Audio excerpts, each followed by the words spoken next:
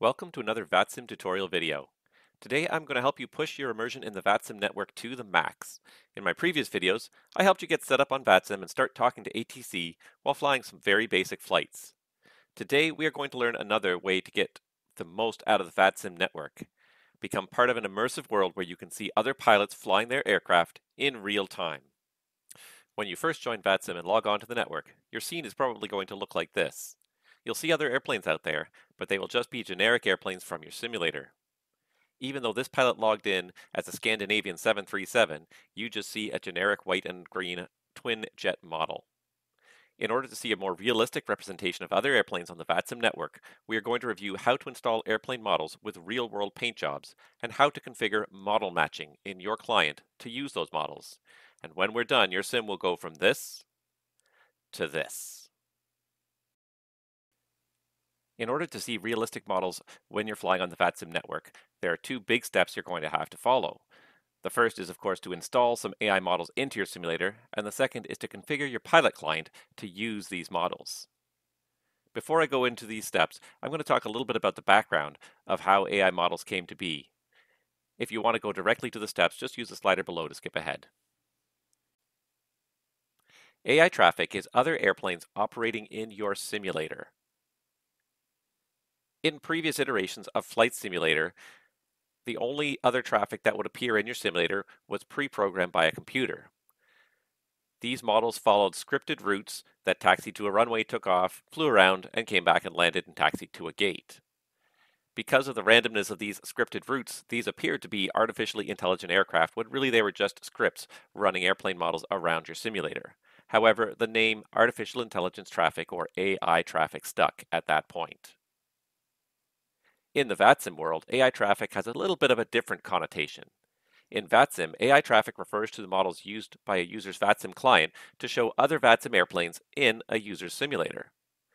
Since the same models are used for displaying VATSIM traffic as were used for these original scripted AI traffic models, the name AI traffic continues to be used when referring to these models that show other people's airplanes in your simulator. So how does AI traffic work within VATSIM? Before I describe the setup process, it helps to understand a little bit more about how AI traffic works within VATSIM. The actual information VATSIM sends out to your simulator is very minimal. Based on your position, VATSIM sends information about traffic that is within range. That is traffic usually within about 100 miles of your position. No need to waste computer processing power or bandwidth on traffic information for traffic you'll never see. For each of these aircraft that you will see, VATSIM sends the aircraft call sign, position, and orientation. That is latitude, longitude, altitude, pitch, roll, heading, as well as speed. This information is sent to your client, and your client in turn interfaces with your simulator and tells the simulator what to draw and where. As a quick little aside, prior to February 2022, VATSIM used to only send a position update for an aircraft once every five seconds. In between, your client would use the speed of the aircraft to estimate where the aircraft was in between those five second updates, and would change the aircraft position in the sim continuously in between the updates from the network. However, this resulted in a very clunky movement whenever an airplane was changing direction or altitude quickly, such as during takeoff, landing, or even while taxiing on the ground. This slow update rate was due to the fact that the original purpose of VATSIM was to link pilots and controllers together, and not necessarily pilots. Most radar scopes only update once every 3 to 6 seconds, so 5 second updates were perfectly realistic for the radar controllers. Additionally, when VATSIM was founded back in 2001, high speed internet was much less common than it is today, and servers were much less powerful.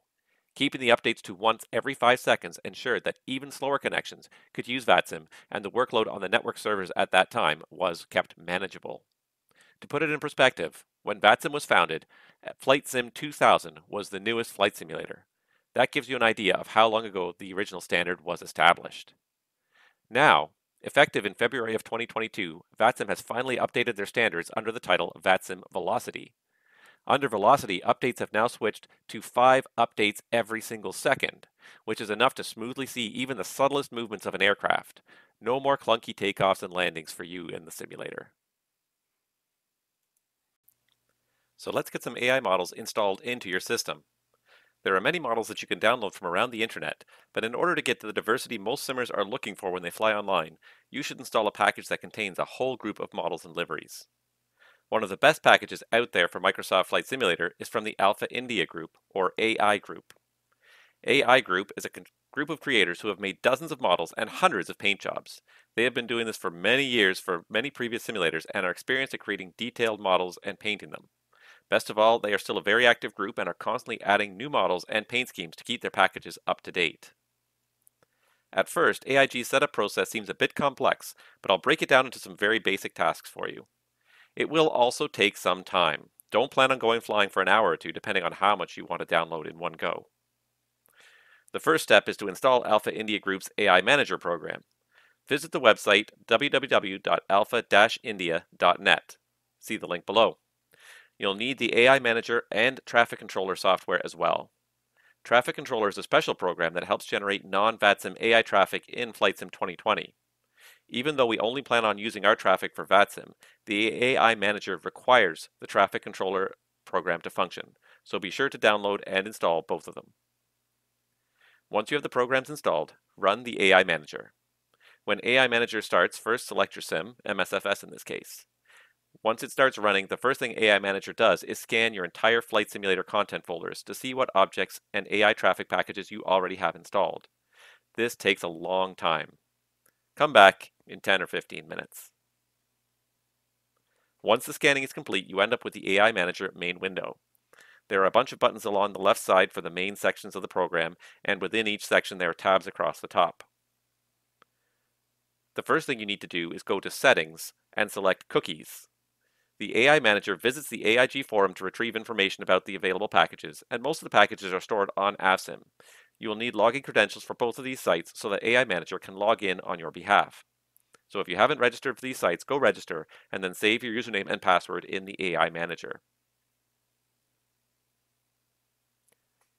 Once this information is specified, we can now start picking models we want to see in our sim. Click the Flight Plan section and then the Online tab. This is a list of all the airlines available online currently. AI Manager lets us pick and choose the airlines we want to see in our sim, so we can download them all, or save time and space by only picking the airlines we expect to see as we fly. The key here is that AIG groups models by airlines. And again, this goes back to AIG's original purpose, which was to input AI traffic on realistic artificial flight plans into our simulator. This system wasn't designed for VATSIM model matching, but it works really well with VATSIM. For us as VATSIM users, we just need to pick the airlines we think we're going to see in the places we fly. You can hit the download button for each airline, but you'll have to wait for each download and install to complete before you can hit another one. Instead, the easier way is to do a bulk install. Hold down Control and select as many airlines as you want in one go. You'll also see a whole array of corporate paint schemes here. You can again select them all, but probably just a few corporate paint schemes will be enough to populate a random assortment of business jets in your simulator next to the airliners. Note that once you have some packages installed, these will not show up in the Online tab anymore. Instead, they'll appear under the Installed tab, as we'll see later. Once you have all the airlines you want selected, click the OCI Bulk button at the bottom of the screen to bulk install all of your selected liveries. This should download and install all the packages you selected automatically without much further input. If you, if you selected lots of airlines, this may take a long time, possibly an hour or two or even more depending on your internet speed and of course the speed and congestion on the servers. But once it's all done, this is going to look really good. And one final word of warning. While most of these packages can be installed automatically without any input, occasionally the bulk installer comes upon a package that it can't download and install automatically. When this happens, it will alert you with a message on the screen. Follow the instructions on the screen and you'll be able to manually download the package and still install it into the AI Manager. This happens for a very small percentage of the airlines, but don't walk away for two hours without coming back every few minutes to just check and make sure it's not waiting for some input from you. Once the download process completes, you'll see all your new airlines under the Installed tab. You can always come back and add more later from the Online tab if you find anything that you've missed. There's one last step just to make sure you have everything installed correctly. Under Settings, click the last tab, AIG AIM One-Click Installer, and click the Verify Setup button at the bottom. This will rescan all of your installed files to find any possible errors that may have cropped up during the installation process, and could correct anything that may have gone off the rails.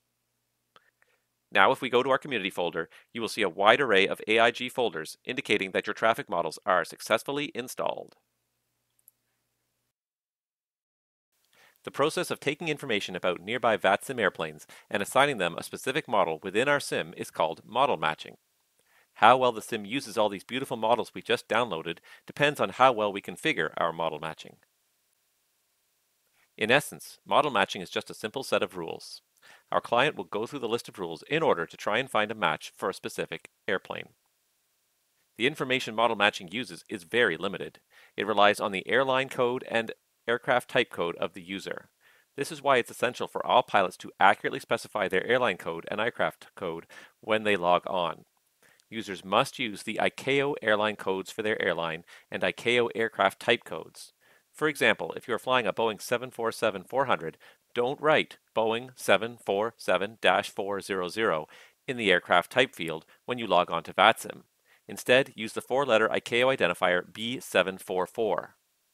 Likewise, for airlines, you must use the ICAO three-letter identifier airline code, not the two-letter IATA codes. For example, for American Airlines, your call sign must be AAL123, not AA123. If you are uncertain about the official type code for your aircraft or the official code for your airline, you can easily search the internet. However, I will also provide a link to the official type designator documents in the video description. Your pilot client will take the airline code and type code for nearby aircraft and compare it with its model matching rules until it finds the best match. The first time it will look for an exact match. In this case, it's going to look for a Boeing 737-800 with Delta Airlines paint. If it can't find a perfect match, it's going to look for a similar type with the same paint job, such as a Boeing 737-900 or perhaps even a smaller aircraft like an A320 with Delta colors. If it still can't find a match, it's going to look for different types with the same color scheme, like a 747 in Delta colors. And at the end of the day, if it can't find anything with even a similar match, it's just going to assign a generic model to be used for this aircraft. Our biggest issue is ensuring that the rules describe all of the models that we just installed into the sim. One big problem is that there is no universal convention for naming models. There's just an empty text field that the developer can put whatever they feel is appropriate. So we need some help in detecting what type of aircraft each airplane model in our sim represents. The software that I use, and I very highly recommend it, is called Model Matching Magic. You can find it on flightsim.to or just Google it. Once you have Model Matching Magic downloaded and installed, run the program. Model Matching Magic should detect your simulator's community folder, but if it doesn't, set it on the main tab, and then hit Scan. Model Matching Magic now scans your Sims folders for aircraft models and adds them to its list. The real beauty of Model Matching Magic is the built-in airline and aircraft type matching system. Using a set of preset regular expressions, which are very simple matching rules, the program looks for common descriptions and assigns airlines and type codes if it finds a match. Best of all, the program then shows the results and gives you a chance to edit them in case something doesn't match up. If a match could not be made or was made incorrectly, you can manually update the airline or type code field so that anything that is missed in the automatic process can be fixed manually. You'll also notice an exclude column. Model Matching Magic will automatically exclude any models that it can't figure out on its own, but you can uncheck the exclude box if you manually specify some results, or even override and exclude models that you maybe don't like, or maybe a model that you know is broken or incomplete somehow. And best of all, Model Matching Magic will remember your customized changes between runs. So the next time you run this and scan your sim, the customized changes you made before will be recalled and automatically inserted in the scan results. Note the lines turn red when you make a change. This indicates this model will no longer follow the automatic rules, but it will instead keep reloading your customized data each time you run a scan. Another powerful aspect of model matching magic is that you can change or even add new matching rules to make future scans faster. Just go to the Aircraft Types tab to see the rules that are already included and change them or add your own for new aircraft types. If you installed lots of models, it can be a bit tedious to get all of these models identified properly and tweaked just the way you like them. But keep in mind that your changes are saved for future runs, so you'll only need to identify each model once. Alternatively, you can try tweaking the scanning rules to capture as many of your aircraft as possible so you don't need to make manual updates in the first place. Once you are happy with the results of your scan, click Generate VMR File and save the file on your computer. This file contains all the actual model matching rules written so vPilot, your pilot client, will understand them. You can regenerate this file as many times as you like because each time vPilot loads, it rereads the file. So if you download new models or updates, be sure and rerun the scan to identify all the new models. The last and final step is to load this VMR file into your client. Run vPilot, open Settings, and then look under Model Matching MSFS Custom Rules. You can add multiple different custom rule sets if you wish, and vPilot will read them in order. For us, just load the VMR file you just created. And now, voila! Whenever you connect to the network, you will see all the beautiful models instead of generic white and green twin jets. As a last bit of advice, there is a great way to troubleshoot airplanes that are not showing up correctly in vPilot. In the vPilot window, type .aircraft, and a window will open listing all the aircraft that are being tracked by vPilot and which model vPilot is using for them. Using this window, you can identify which model is being used and what rules were used to select it.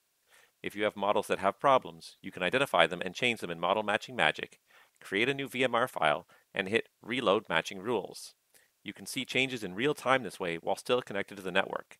Really handy for helping troubleshoot why a particular aircraft is not showing the model you think it should.